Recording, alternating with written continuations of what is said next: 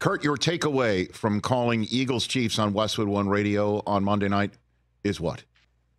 Well, I mean, a that they're both really good football teams. Okay. Uh, I think B I came into it thinking that Philadelphia was the better team and would be able to dominate in the trenches. Uh, I left the game not thinking that that uh, that Kansas City I thought outplayed them for the majority of the game and outplayed them in the trenches. They ran the football extremely well. Uh, at over 120 yards rushing in the first half, which Philly hadn't given up all year. Um, and Kansas City had that in the first half. You know, their defensive line, uh, I thought played great. Their defense as a whole played great. So I think I have uh, a better appreciation for who the Chiefs are after last night's game, even though they ended up losing the game.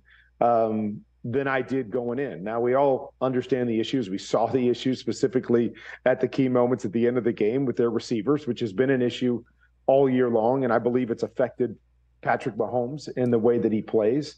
Um, but still, at the same time, you're playing against arguably the best team in the NFL, the best team in the NFC, and they dominated the game, and they should have won the game, in my opinion. Um, so that's probably my biggest takeaway. I think the other thing you realize is that Philly never panics, um, and they can win a lot of different ways. We talk about it all the time on our show that they are one of those teams that can win a lot of different ways. So last night their offense just wasn't clicking. They they weren't making big plays. They weren't doing very much, and their defense stepped up and kept them in the game and let them hang around and hang around, knowing that their quarterback and the playmakers on their team were eventually going to make plays. And um, I think that's the greatest thing about Philly right now is they're not clicking on all cylinders, but They've got enough ways to hang around in a football game that, and enough playmakers that they will find a way in the end to make the plays uh, that they're supposed to make most of the time. Of your uh, take right there, Kurt, the one thing that leapt out at me that I want to dig into a little bit more is you're saying that you think the receiver issues in Kansas City, whether it's route running, whether it's catching the balls that say hit them in the hands, um, is affecting his way of playing. What do you mean by that? What are you seeing? Well, what I've seen on tape is that you know Patrick um, has been hesitant to to throw the ball um, on time and attack certain throws and reads that I've seen him you know make year in and year out since he came into the league is that he doesn't get enough credit for how he plays inside the pocket, how he plays on schedule, to what what he sees uh, on every given play. And there are just a number of times uh, this year where he just doesn't pull the trigger on throws. And I can't figure out why. You know, I, I can't believe that's because he doesn't see it, because he's looking in the direction. He always sees that sort of stuff. So I have to believe it's hesitation because he's not sure what's on the other end. He's not sure either what guys are doing. He's not sure that they're going to make the play um, or what that is, but it's affecting his ability to play the game. And um, so that's, you know, that becomes a whole nother concern is that what makes him so good is playing that way and then adding the special of Patrick Mahomes on top of it.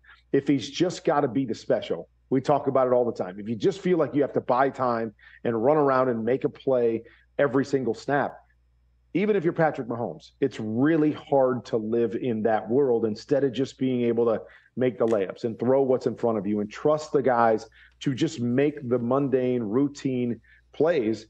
And I feel like right now he's going to keep slinging, he's going to keep throwing it to him. But there's, you know, a level of frustration and there's a level of uh, of, of effect that it's having on Patrick and the way he plays the game. And in terms of Philadelphia, Buffalo and San Francisco at home next before a visit to Dallas on a Sunday night at Seattle over the next month. So there's some tough tests ahead of them.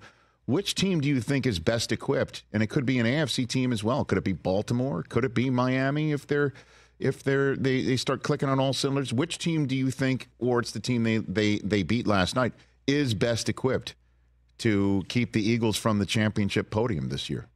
Kurt? Um, I'm going to probably say, uh, and again, I always look at Philadelphia, and the first thing that I always think is the trenches.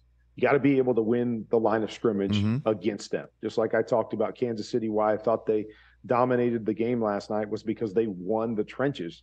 And so when I think about that, you know, I think about, you know, two teams and one in the NFC, San Francisco, that is a team that can win the trenches. They obviously have playmakers and, and guys that can change the complexion of the game, but they can win the trenches. So I look forward to that game uh, with a healthy Brock Purdy uh, to see how that matchup plays out because we didn't get to see that in the NFC Championship game last year. But that's one team. And then the other team, and again, I, I guess I got to say outside of Kansas City because Kansas City surprised me, but showed me that they've got the ability to do that. Uh, I would say is Baltimore. You know, Baltimore is another team that can win the line of scrimmage, whether that's in the run game or the pass game.